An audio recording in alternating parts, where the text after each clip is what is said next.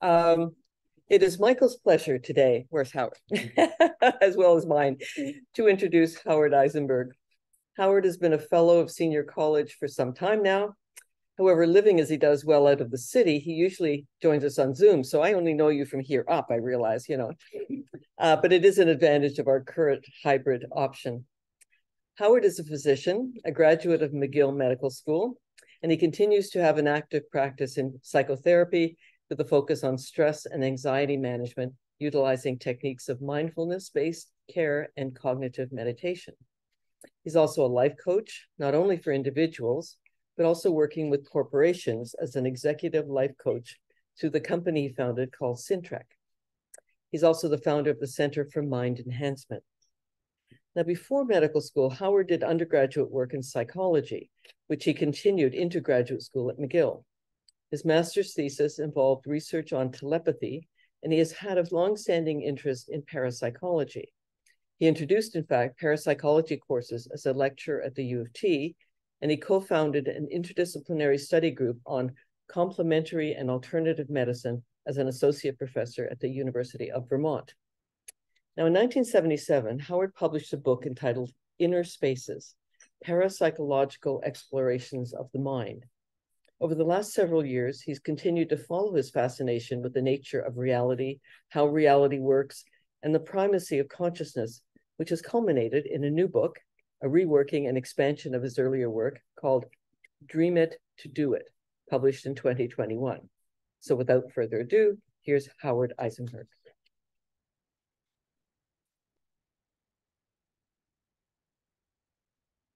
Thank you, Linda, on behalf of Michael. and and also uh, in and also in, in your role uh, with Daphne as co-chair uh, of the program committee. And I appreciate this opportunity to share what I think I've discovered at a very perilous time that we're living through right now that I hope uh, will be extremely beneficial to you. It will also be a very mind-blowing lecture. Uh,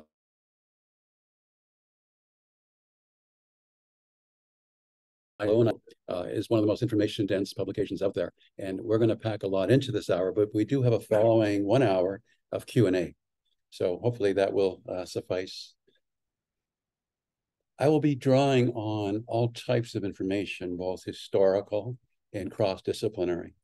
And I'm going to go start a few thousand years ago with Plato, the ancient Greek philosopher. And I, I, took a course in philosophy as a minor when I was at McGill as an undergraduate, and it was a pleasant surprise to discover Plato, the Republic, and particularly the allegory of the cave, which has stayed with me all these years, and, and that's a lot of years. I'm, a, I'm 77 now. Um, what struck me about it was how poignant it was, and I didn't even appreciate, even though I've retained it as a memory all these years, I didn't appreciate how serious this really was for the types of difficulties that we face in contemporary society.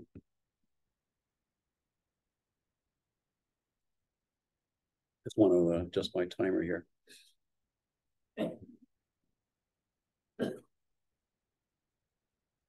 In Plato's Republic, in the allegory of the cave, as some of you may know, there's a group of prisoners who are chained to a wall in the cave.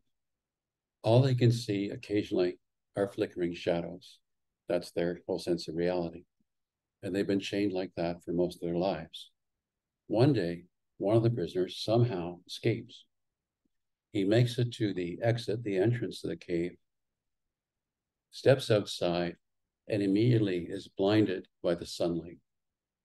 And in great distress and agony, but gradually his eyes accommodate to the greater brightness that he's never experienced before all these years. And he starts to see. He sees forms, he sees colors, he sees beauty. He decides to try to go back to the cave to share what he's discovered with the other prisoners.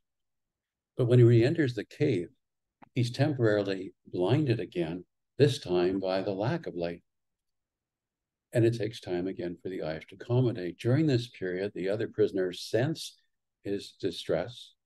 And although he tries to convince them there's a greater world out there, to join him, they're too afraid. So they remain. But the point is, they don't remain prisoners because of material restraints. They remain prisoners because of emotional fear restraints. And I think that has great relevance for what we're dealing with right now.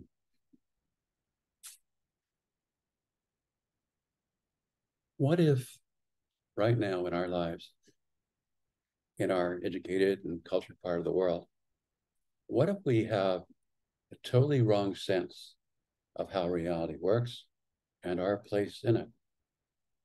And I want to suggest to you that is the reality. Another ancient source I want to draw on is Master Chuang Tzu, 4th century BC Chinese Taoist philosopher, and the famous butterfly dream. Once upon a time, I dreamt I was flying as a butterfly. However, soon I awakened and was my familiar self again.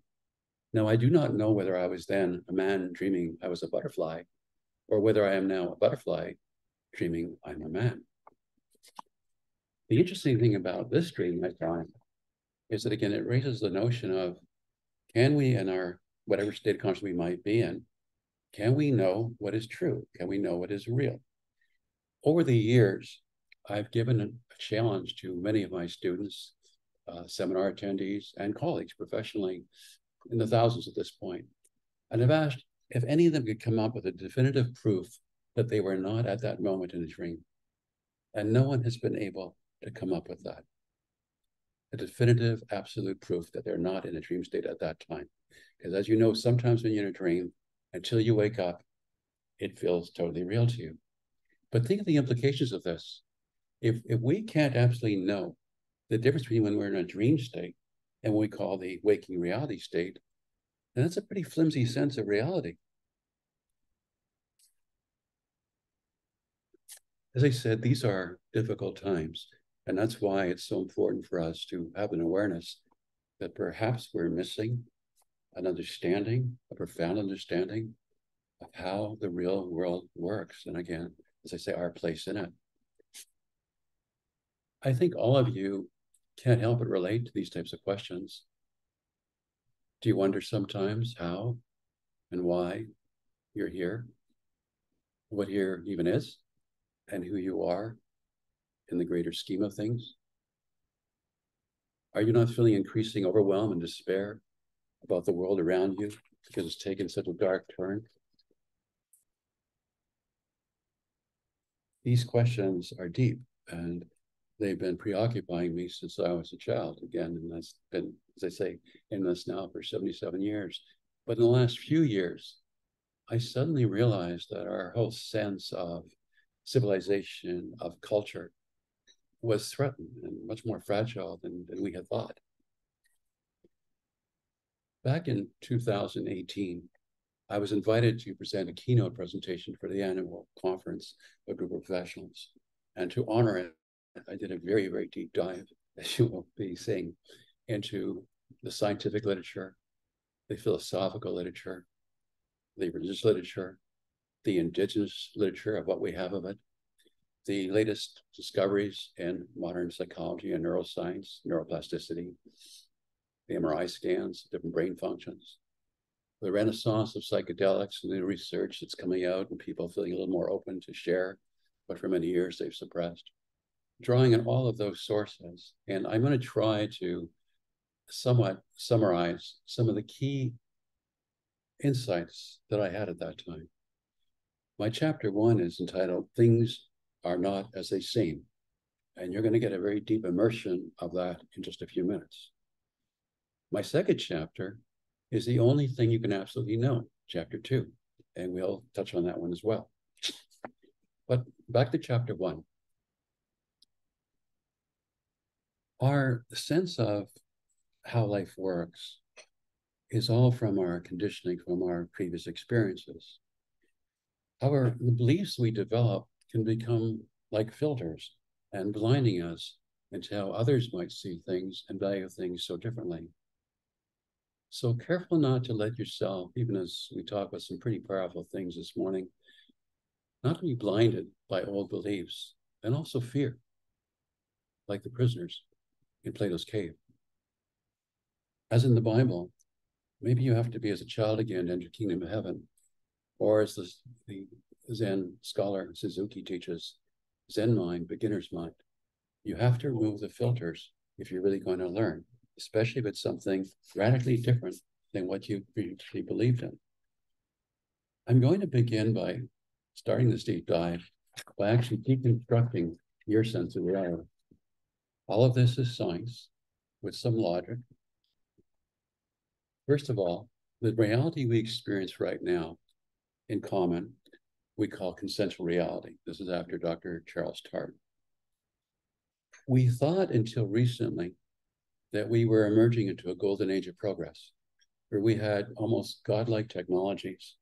We knew it all, we had mastery of all, and there was just a few little things we still needed before we had utopia. But as we know, things these last several years are not going that way. If anything, we're aiming for a dystopian future, and we have increasing entropic decline of everything that has been ordered in what we understood as our civilization. When we look at society, there's breakdown in every ways you can imagine. Depression is now one of the leading causes of morbidity in the world. Loneliness has become an epidemic. The Surgeon General of the United States felt impelled to write a book about it. The UK and Japan have appointed federal ministers of loneliness. It's considered a crisis. We also have tremendous divisiveness now, unparalleled in most of our time. We have an unleashing of anger, called, we call it amygdala hijack, hijacked by the amygdala, the primitive brain function. We have failing democracies, and the drums of war are beating louder. All this you know to be true. It's not controversial, but it's sad and scary. On ecological side, there's nowhere in the world now, physically as we understand it, where you're free of toxic pollutants. Global climate change has bitten us this last year all over the world in various ways, and it's just a sampler of what's coming. And we have multiple species extinctions, which upsets the whole web of life. If that wasn't enough, we also have literally existential threats to our existence. And I mean by I say our existence, I mean humanity's existence, humankind. The doomsday clock is maintained by the Bulletin of Atomic Scientists. Two years ago, when I authored my book, which was the fall of uh, 2021, was released, the doomsday clock was set as the unprecedented short interval of just 100 seconds before midnight. But that was before the Russian war in Europe. That was before runaway inflation. That was before these unprecedented climate disasters, and ominously, and yet to be understood by people. And that was before the release of ChatGPT, rogue artificial intelligence. So again, 100 seconds before midnight, and before all of these rather unpleasant, undesirable things. I hesitate to guess where it is now. I know they moved it to 90 seconds, but I think if they did uh, to date, we're pretty close to what's considered global catastrophe, the end. Continuing to deconstruct our sense of what is real, what is solid, what is predictable. Let's look at the brain and consciousness. Again, some of this will be radical to some of you, but it's all very well documented in my book and other sources. There is no proof whatsoever that the physical head brain produces our experience of consciousness, our experience of being aware of awareness, our sense of mind. None, zero. There's not even a generally accepted theory of how the brain can produce our experience of consciousness of mind. The philosopher David Chalmers appropriately called this the hard problem. And he didn't mean just for philosophy, he meant for science, because we just don't know how to get our handles along further. I like the way the New Age author, Peter Russell, it's a different Peter Russell than here at the college. I like the way he flips the argument from being on the defensive to overwhelm the, the, the skeptics who say such things, you know, are, are obvious. Of course, the brain produces consciousness. And he says, how can something as immaterial as consciousness arise from something as unconscious as matter. It's a good way of putting it. Western science is also mistaken, if we go back to consensual reality, about the role of the head brain because we as humans actually all have at least three brains. We also have a heart brain and we have a microbiome, a gut brain. I won't talk too much about this. There's so much more to go into, but on the heart brain, just for a few moments. So the heart has neurons, it has nerve cells. The heart has its own memory system. The heart has more nerves upregulating brain function than the brain can modulate heart function. The heart also can secrete the love hormone, oxytocin, which connects us. And there's some research in the Institute of HeartMath that seems to suggest that the heart is also a portal for our intuitive awareness. And then there's the gut, the microbiome, which is filled with trillions of bacteria, collectively having more DNA than we have in our own so-called human body. But beyond that, what's really interesting is that in psychiatry and modern medicine, there's been much discussion and all types of pharmaceutical interventions to modify head serotonin levels in the head brain. And yet 90% of serotonin is synthesized, is secreted in the gut by the bacteria in your large bowel and your colon, not from the head brain. So again, we have that all wrong. I will admit to you, the head brain does have a role in what we experience as consciousness, but not as the source of it, not as the generator of it. It's a receiver. It's a selective receiver. And there's much evidence we can go into perhaps in the Q&A and or in my book uh, as to how we know it functions as a receiver.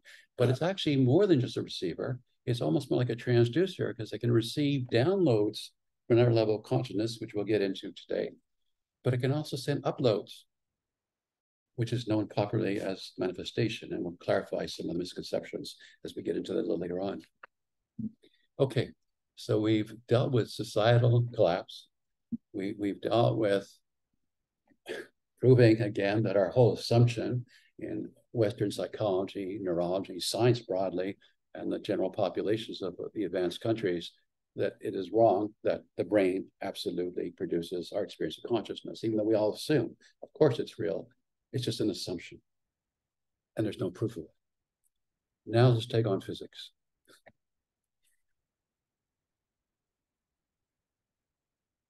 Interesting, this title, if you could see it, you know, what is reality? And then smaller print.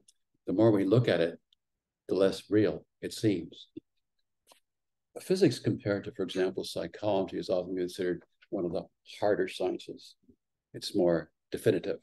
It's more tangible. It's more relevant and applicable. Psychology being soft, more speculative. However, when we take a deep dive into what's really happening in the world of physics, we find it's totally contrary again to our understanding of reality. Some of you already know that everything solid, like this podium, is actually mostly not solid. In fact, it's about 99.99999% empty space. There's no solidity we see solidity, we feel solidity, but it's an illusion. And we know that from what physics is telling us. It gets worse. But we used to also think that, well, everything is comprised of fundamental building block particles, smaller and smaller, more and more exotic. But ultimately, that was our understanding. That the ultimate construction of the universe is material, physical. It just gets more and more microscopic. But it's not working out that way what we find is when you really try to go down to the small particles, they don't have a specific existence and location. It's more like a zone of probability. And to be able to bring it into our perception, our instrumentation as something tangible, it requires the act of human observation. And that's why Wheeler said we live in a participatory universe because it takes human observation to cause a collapse of the probability wave for matter to manifest. That's from physics. This is not metaphysics. This is physics. In fact, I have a quote from the founder of quantum mechanics, Max Planck. I regard consciousness as fundamental. Matter is derivative consciousness. We cannot get behind consciousness. Everything that we talk about, everything that we regard as existing, postulates consciousness. There is no matter as such. Again, that's physics. Now, let's take a small dive into what historically has been one of my passions, parapsychology, which I taught here as a, a course at the University of Toronto about a half century ago.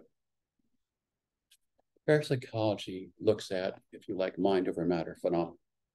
things like telepathy, which was my research thesis at McGill, uh, clairvoyance, which is awareness of things at some distance, also in modern terminology referred to as remote viewing, precognition, an awareness of the future before we understand it has even materialized and happened. Parapsychology has been considered the weakest of all the sciences, the most questionable of sciences. would call it a pseudoscience.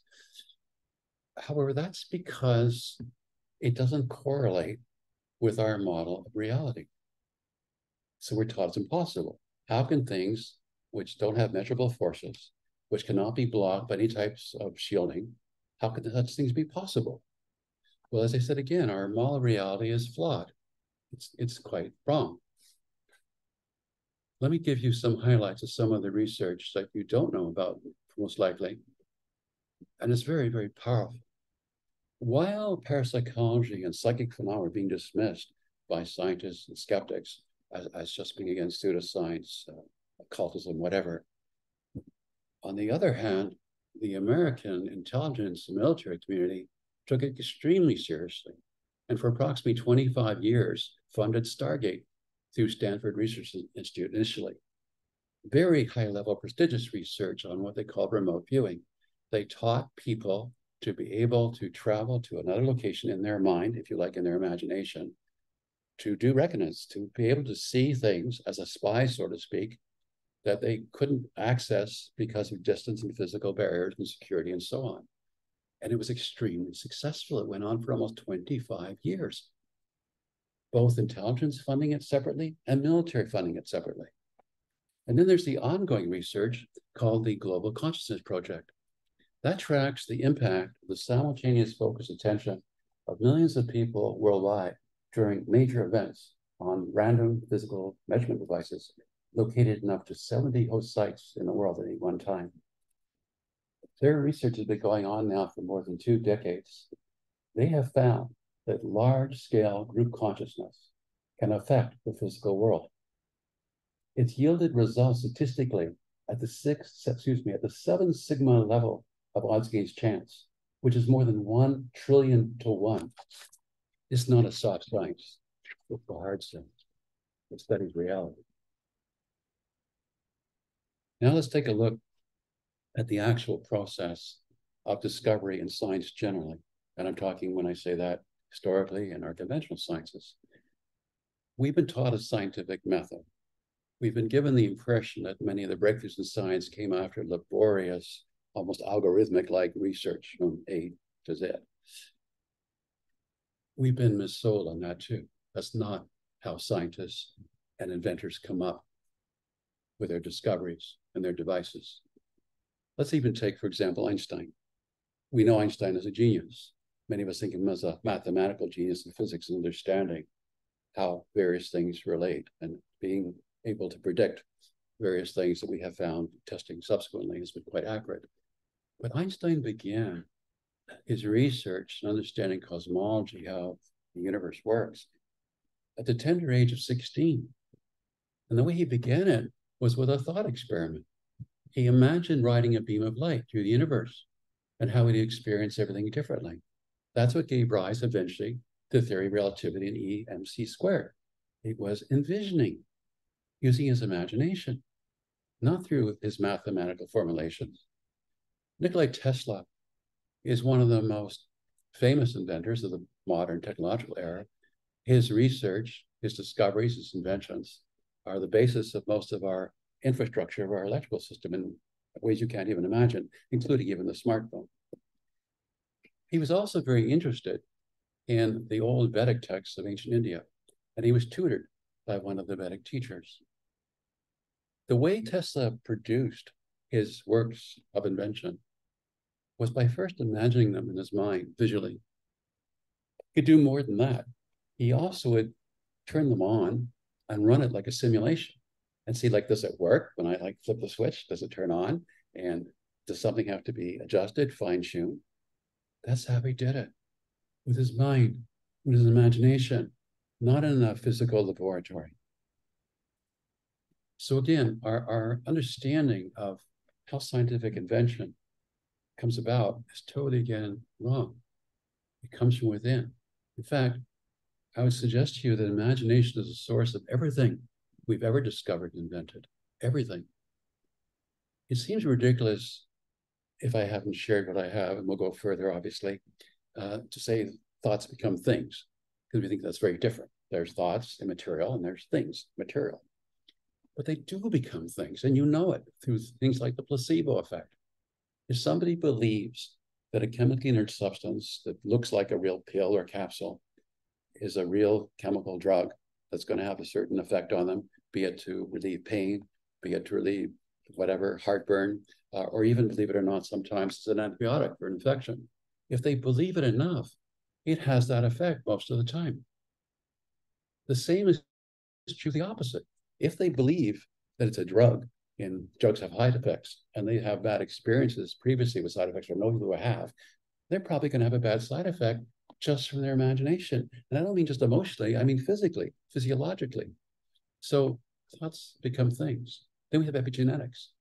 We were taught that we inherit certain genes from our parents and the ancestry before that, and that kind of fixes our composition in many respects. We now know that there's something called epigenetics. It is possible to modify the way the genes work. We call the gene expression. And then another example of that, stretching it further and coming back to brain and consciousness and mind, is neuroplasticity. We now know that if people change their thought patterns, their behavioral patterns, it can change the wiring of the brain, the connections, to process things in a totally different way. So it's not again brain causing consciousness, of which there's no proof for theory, but we do know consciousness can change physical brain. Another form of proof again, brain is not the source. It's something out there, but it's not the source. So as we go deeper, what's real? Remember, prisoners of Plato's cave, being in the end enchained by fear not by material restraint. Remember the butterfly dream, where people can't even know for sure if they're dreaming or not. And then remember the science. It's not what we thought it was in terms of brain, in terms of external material matter, even in terms of things like psychic phenomena. There's something else we've been missing hugely. The notion that we've had up to now we call it the materialistic reductionist paradigm. It was a belief that everything ultimately is physical, even down to the minute particles I said earlier, and also that we're all separate. So we're separate from each other physically, we're separate from other sentient beings, we're separate from nature. The new research is suggesting the exact opposite. That the separation is illusion or wrong belief, misbelief. That ultimately everything seems connected. We're going to get deeper into this. So again, what physics is telling us is that physical reality is mere waves of probability imagined and observed into form. I'll repeat that. So physics is teaching us now, the latest discoveries of physics, that our physical reality is merely waves of probability imagined and observed into form. Our consensual world is more like a virtual reality. It's a dreamlike state that we've unknowingly created.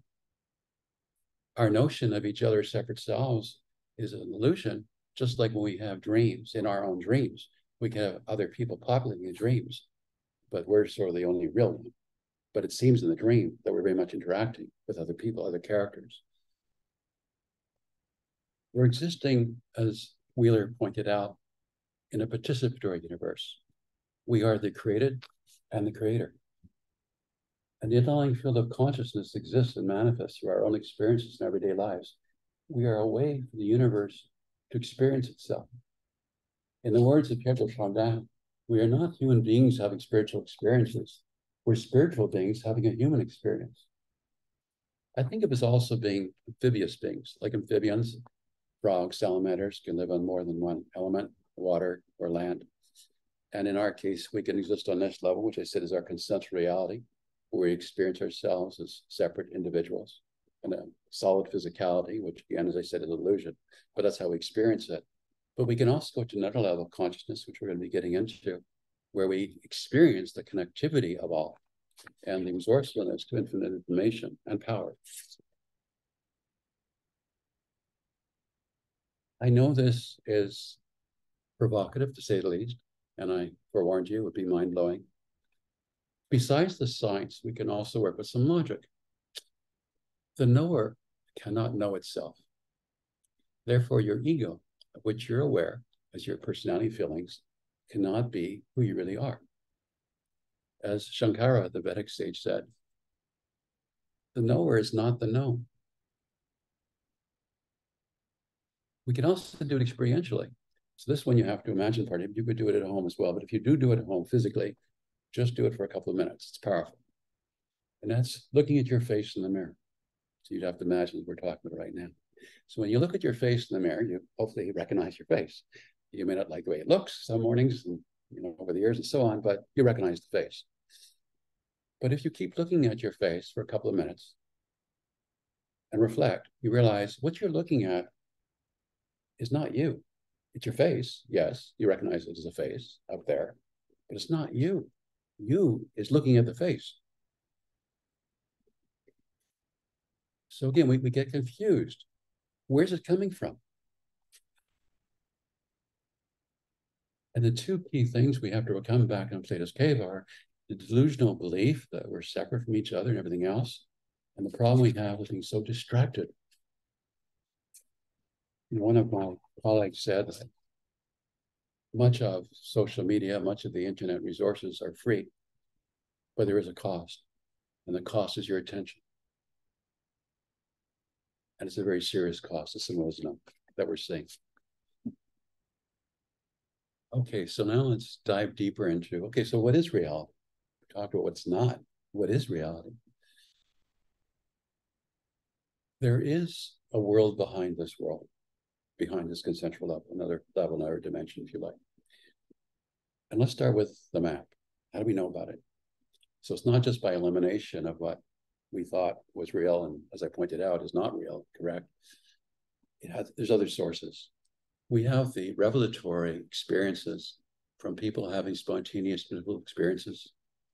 We have the experiences of people with psychedelic plant medicines. We have the experiences of people science and meditation, where they experience unusual things beyond just relaxation. We have the indigenous wisdom teachings passed on traditionally from thousands of years ago in different areas of the globe, but very, very similar in what they are describing as reality. And then we have also the perennial philosophy. As you know, there are so many different religions, which is one of the reasons why religion has declined relative to science, because it seemed that there's so many different versions of the truth from religion. How can you believe any of them? And therefore, science seems more promising, except that in science, you can also have scientism, which is a belief where you're not really testing things, you're assuming. And that in itself is the same thing that they were criticizing some of the practitioners of religions for. With Christianity alone, there are over 45,000 known denominations in the world, just to Christianity alone. And there are many other religions. Nevertheless, through recorded history in many parts of the world, there's been some form of religion. And one might wonder, is it all just you know, primitive speculation because they weren't scientists then, they weren't educated like we were, and didn't have computers, or is there something to it? Aldous Huxley, credit to his genius, looked at the question differently. He said, What is it that's in common to all the major religions? What's the common denominator? There's something called signal noise detection theory, some of you might know. If you have a weak signal and you want to receive it accurately, one way of ensuring greater accuracy is to keep repeatedly sending the signal, and the noise cancels out. And eventually, it's clearer what the actual message, what the actual information or data is that you're seeking. So in a sense, that's what he did, looking across comparatively at religions. What's in common to all of them? What's the essence of all of them? Ironically, if you remember what I told you about where physics is right now, soft mysticism and hard science are actually converging. Ancient and modern, subjective and objective, on the same conceptions of the underlying structure of reality. What's coming up is what we call non duality not two, all connected. mystics refer to this as the oneness of the office. What's also coming up from all these different sources I mentioned, the revelatory experiences, the indigenous wisdom teachings, and the perennial philosophy, as there are multiple levels of reality, it's not just one level. And also, and most powerfully and important for you to know, the primacy of consciousness. Consciousness comes first. The brain, the rest of the physical world is secondary. Consciousness comes first. Now, there are also what we call non-dual practices, which allow you to shift perception of what you call reality, reduce the illusion of separation, so you can experience what we call the spaciousness of consciousness. Things like mindfulness, which is part of an attitudinal presence, breath work, meditation, lucid dreaming, which is dream programming, learning to control dreams, the plant medicines, the psychedelic substances. So these are ways that ordinary people, if they wanted to experience this at a level reality, indeed could. What are some of the implications of all of this? Well, coming back to these are difficult times because we're facing literally existential threats at this point. The only way out of this mess, strange enough, is in because the reality isn't really out there. That's part of our problem. We, we need to learn to not only correct our beliefs, but also overcome our fear. And thinking back again, if I could quote the Bible, you shall know the truth, and the truth shall set you free. Regards a paradigm shift, a different like a model of how you can conceptualize things, moving from ego as being our primary mindset to a broader eco, ECO mindset, ecological mindset. It leads to a new way of valuing well-being and relationships with all. It's being guided by path of the heart. It's a heart-based sense of interconnectedness, which you hear about again biblically in the Golden Rule, that concept, treat others as you'd have them treat you. And then scientifically, if you like, more, more recently, the work of Dr. Hans Selye, the stress pioneer authority. And he found that one of the best ways for us to reduce our personal stress is to develop more of what he called an altruistic ego, to be more aware and considerate of the needs of others. It seems counterintuitive at first. You might think if you're stressed out. How's it going to help you to take on helping someone else? But it does. You're shifting your consciousness. You're connecting closer to source with another person. And then another aspect of this paradigm shift and understanding again that it's not all from here and a lot comes from this part, if you want to call it the heart intelligence, is the importance of love. When R.M. Bucke, the psychiatrist, wrote up his experience of a mystical experience in a book called Cosmic Consciousness many years ago, he said that he had discovered in this mystical experience that the underlying principle of the universe was love. And at the time, although I was impressed with other things in the book, that didn't make sense to me. And if anything, I must say at the time, I, I missed the, the importance of that and almost scoffed at it and thought I was just being poetic or whatever. But what did it have to do with reality and of importance? But I've come to understand it differently now. In the Bible, as you may know, it says God is love. One of the most important Buddhist meditations is loving kindness for others. Love connects us. Hate and fear separate us. And we're living at a time right now, unfortunately, as we know, of great divisiveness. If we just think to, you know, what's happening in the United States of America right now, it was until recently the beacon of democracy, of opportunity for the world. And right now, there's a real possibility, if not probability, that it's failing as a democracy. And as a country, as we've known it, will no longer exist beyond a very short future. And that's a real probability. And if you think about it, you know it. So you might think it can't happen. It's been around for so long, it's so powerful that people come to their senses. It's a good illustration going back to the problem of the prisoners in the cave, chained by fear. Because as you know, politically, without mentioning names or parties. There's an incredible divisiveness, almost to a violent degree. In some cases, it is violent, as we know, and may become more so soon, of disagreement about what the facts are. You have a polarization largely, as you know, of two large blocks of the population in the many of millions in both cases that literally believe the other side is totally like wrong, crazy. And even as new information comes out, they filter it. As I said, beliefs are like filters. I don't mean they do it on purpose. And there are people who know how to play with our emotions and control us. So if they stimulate fear and anger and they seem strong, you're more attracted to them. You're feeling weak, you're confused, they're strong. And people at those times are very vulnerable to bring on what we call authoritarian dictatorships. You're always seeing it happening in the world in many areas. And when you stoke in that fear and that anger, it creates also again more divisiveness. What we need is the exact opposite. We need to go back to, as Aldous Huxley did with looking at comparative religions, what's our common interests? What's our common needs? What serves us all? Again, the sense of connection. So, love is what we really need, like the song, as some of you might know. You know, what the world needs now is love. Love, more love. It's the only thing we need more of. Um, in my book, I, I go into, and we do go into this perhaps in the question and answer, if you like. There are things that make it really difficult for understand and believe what I'm sharing with you today, beyond giving you social information and a lot of it challenges what maybe you previously have thought and been taught. There's another level that, if you like, again, filters, blocks us from being more easily aware um, and even able to believe in these things, which I can go into if you want in some detail in the Q&A. And also, I made a brief reference before to, well, if everything comes out of our imagination, everything, and if physical reality is not really out there, and we're not a result of it, it's the opposite around. We dream it up. It's part of what we populate. Again, in our dreams, we don't just have people, we also have an environment, we have objects. Then it's possible, as some of you, you know, here in a more popular way, to manifest things.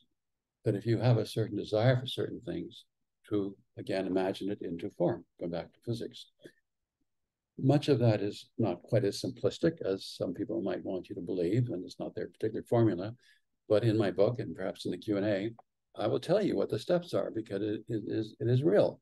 And it's something when you understand it, you can experience it in your life. There are many things in my own life experience, 77 years, where it has been a part of my life, even when I didn't totally recognize it until I could look back in retrospect. And I call shifting reality. I think it's a better way of putting it. In physics, as I explained, our understanding is it's a probabilistic universe until again human observation collapses probability wave into form. So back to manifestation. What you can do when you understand the steps, which we can go into in the Q&A or it's detailed in my book, what you can do is influence favorably the probabilities for the outcome that you want to manifest. But it's not as if like you, you know, flip a light switch, and just because you want it, you imagine it, it's going to happen. So the cynics, you know, have obviously picked up on that, but they've thrown the baby out with the bathwater. It doesn't mean manifestation can't happen. It's just not that simple. It's not a one-to-one correlation, but it is a significant correlation. It really makes a difference and one that I've certainly experienced many times in my life. When you understand this, you can experience it more too. Um, as, as, one of my noted colleagues said, accidents you know, can happen where you know there's a fluke, some something you, you can't explain, deja vu or whatever. I've shared a lot of information with you very quickly, and uh, want to give you some time to reflect and digest on it. As you know, we will have uh, after a break, we'll have a Q&A for about an hour if you're up to it. Um, I'm comfortable going very deep with you if you are. Um, if I go too deep, bring me back. Um, there's there's so much here that I'd like to share with you. My book details this obviously in, in, in a lot more depth. And I might add too that it's not an ordinary book in, in a number of respects. Not only is the information phenomenally provocative of what you have previously, most people have thought of reality as previously to this, but the design, it's it's entheogenic. It's intellectually psychedelic. If you read it slowly, reflectively, you will experience an expansion of consciousness. It even gives you exercises so you can literally try out within minutes, such, such as the mirror exercise I gave you very briefly, and experience some of this yourself. It's not a question of whether the logic convinces you, whether you check the references, they make sense. You can actually experience it as well. The book itself is available in print. It's also available in an audio version. Strange as it may sound, I think the ideal way of experiencing it is both. You know, if I come back to consensual reality, you're still in two different parts of the brain with the reading and the auditory. And then in terms of just consciousness, if you like, it's expansion, you're getting more information, multi-channeled information. It's, I repeat, very deep. And I really recommend people to read it slowly with reflection and to actually reread some parts of it. The same thing with the audio.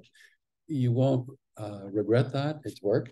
But again, you should know the truth. And the truth will set you free. And this is a time when we really need that clarity. We really need to have that confidence, that sense of power again. You're also welcome on my website. I've left some cards on the back table with the URL for my dedicated book webpage. You're welcome just to go to my website. On that webpage, there are now a dozen or so podcast interviews where I'm being interviewed about the content of the book and expanding about it more slowly and in more maybe um, commonsensical and lay terms. Uh, that's all free, and you're you're welcome to that. Uh, my whole purpose is to share this information, because again, I said this world is in such crisis right now, and once you see it as as I have, it's impossible to not care and not speak out. Uh, you know, I realized when I was writing the book, and even presenting you with this uh, presentation here today, that many people would think this is so contrary to what they have believed or they've been taught, what, what their peers would also support, that this must just be nonsense or, or, or craziness. And yet I felt I have to speak out. I'm basing it on strong science, on comprehensive historical literature, using logic and reflecting on three quarters of a life century experience my colleagues around the world greeted this book with acclaim. It may change, of course, but there hasn't been one critical comment that has come across to my attention. Quite the opposite. I just got a message from a psychologist I do not know, clinical psychologist in Australia just earlier this week, saying, brilliant, wonderful gift to humanity. And that's the type of feedback I'm getting, even from people who I myself would have thought would have been really hard headed and very uh, opposed and even maybe want to suppress this type of thing. Um, again, we're at a really inflection point now where some of us are realizing, not enough yet, that we really have to re-examine our assumptions about how to get ahead in life and what's maybe owed to others as opposed to satisfying our own egos.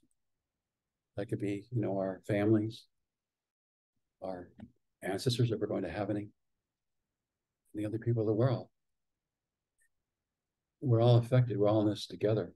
Give ourselves the illusion again that we can just, you know, stay in our own backyard and tend to our own things. You already have experienced here in Toronto this summer, uh, momentarily, the worst air quality index in the entire world from the forest fires up in northern Canada. Global climate change is real life is not going to go on as you've known it. And I don't mean eventually, I mean right now. Meteorologists said this last summer was the last summer where we are going to have a smoke-free summer. That's it. It's the second eviction from the Garden of Eden of humanity. Can't go back. What we can do is greatly change the trajectory. We can become cooperative. We can collaborate. We can tend our gardens and live a very different type of life. Thank you.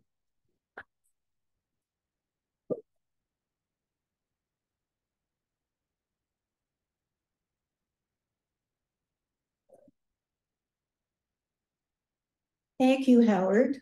We're going to take a 10 minute